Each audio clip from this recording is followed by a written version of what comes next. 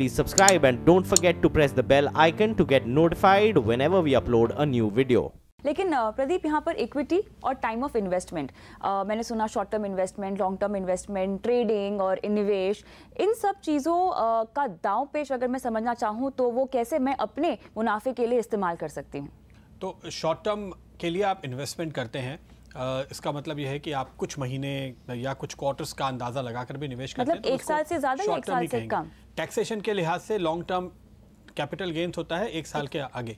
लेकिन जब आप इन्वेस्टमेंट की बात करते हम्म। हैं तो आमतौर पे हम मानते हैं कि इक्विटी इन्वेस्टमेंट तो पाँच साल दस साल वाला होता है। तो अगर आप शॉर्ट टर्म में इन्वेस्ट करने की बात कर रहे हैं तो एक तो हाँ। आप मार्केट के साइकिल को प्ले करने की कोशिश कर रहे हैं।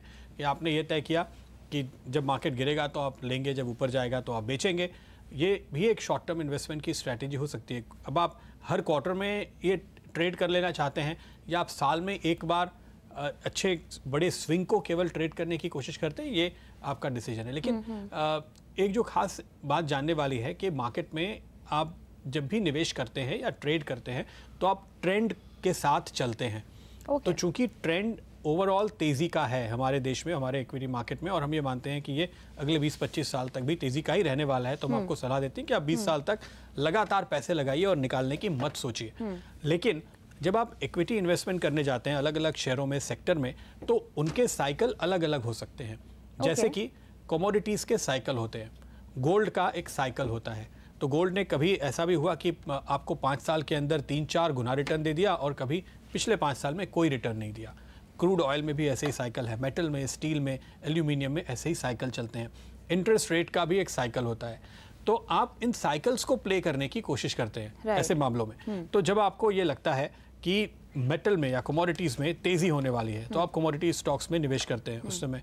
और जब आपको लगता है कि अभी मेटल प्राइस पीक हो रहे हैं और यहाँ से साइकिल टर्न हो रहा है तो आप वहाँ से निकल जाते हैं। ऐसे हर एक सेक्टर के इस किस्म के साइकिल होते हैं। तो जो शॉर्ट टर्म इन्वेस्टर है वो इन साइकिल को प्ले करने की कोशिश करता है इनके हिसाब से बेनिफिट लेने की कोशिश करता है और इस इस ट्रेंड का बेनिफिट लेकर के वो प्रॉफिट बुक करते हैं और फिर नई कोई जगह ढूंढते हैं निवेश करने के नए विकल्प दूसरे विकल्प ढूंढते हैं। अगर आप इसको बहुत ही शॉर्ट टर्म के तौर पे ले जिसको हम ट्रेडर कहते हैं हाँ। तो वो ट्रेडर फिर इंट्राडे का ट्रेडर भी हो सकता है वो एक पोजिशनल ट्रेडर भी हो सकता है। पोजिशनल ट्रेडर अमूमन एक जो पूरी सीरीज़ होती है वायदा कारोबार की उसको ध्यान में रखकर ट्रेड करते हैं। तो जो करीबन एक महीने के बराबर होती है और हर महीने के आखिरी गुरुवार को उसकी एक्सपायरी होती है सेटलमेंट होता है।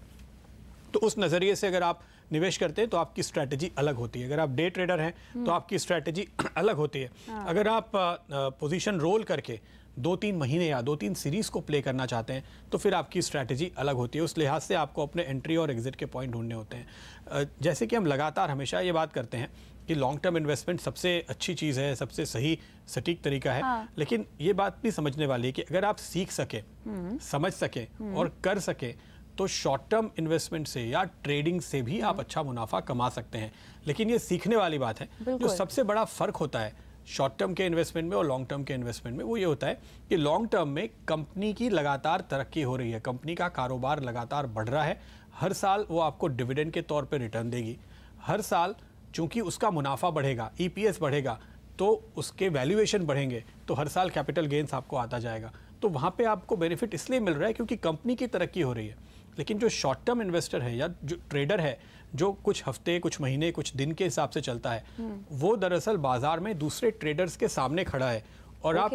आप किसी और की गलती का फ़ायदा उठा रहे हो हाँ। तो ये हम कहते हैं ज़ीरो सम गेम यानी end of the day short term के निवेशकों के बीच में किसी का मुनाफा किसी का नुकसान तो अगर आप सबसे स्मार्ट हैं तो ही आपका पैसा बनेगा हाँ। तो उसके लिए ज़्यादा सीखने की ज़्यादा प्रोफेशनल होने की ज़रूरत है। अगर उतना नॉलेज आपको है, वो स्किल्स हैं, तभी आपके पैसे बनेंगे। बिल्कुल।